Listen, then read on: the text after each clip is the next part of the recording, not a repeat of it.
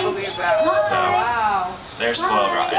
Yeah, Um, they even have specific days a day as part of their like enrichment for the day. We like to call them enrichment sessions. Or, not enrichment. Um, uh, relate sessions where the trainer will just go up, pick a whale, bring them over to them, and they'll just give them a good rub down for like 30 minutes a day. Just to look at them and be like, "You're so cute. I just love.